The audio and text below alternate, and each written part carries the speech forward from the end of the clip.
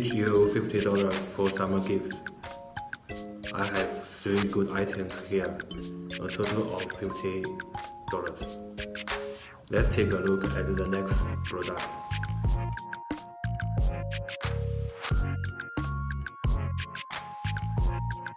The second product.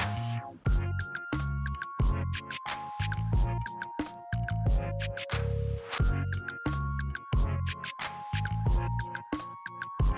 the third product.